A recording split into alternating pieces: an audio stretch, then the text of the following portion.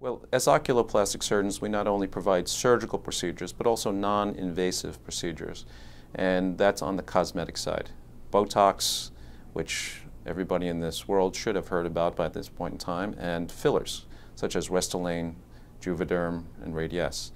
As far as Botox goes, we use that to treat not only cosmetic patients, but also functional problems that patients arise, um, such as blepharospasm, hemifacial spasm, um, we also treat patients who have uh, certain types of headaches, um, neck pain, and I've even treated patients for hyperhidrosis or excess sweating uh, in their axillary areas, uh, in their forehead.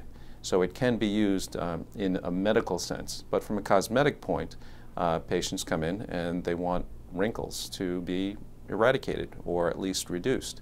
And typically we treat the areas of the forehead, the area between the eyebrows called the glabellar area, and the crow's feet area. That's the area at the corners of the eyes when you smile.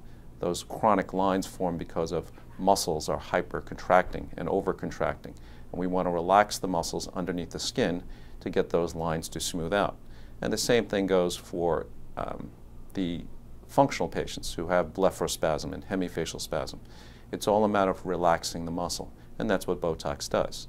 In an injectable form, we reconstitute Botox, which comes freeze-dried into a sterile vial, and we inject that into the patient's muscle area that is overcontracting. And what that does over about a, I would say, three to four day period is it starts to block a certain amount of that muscle from being stimulated.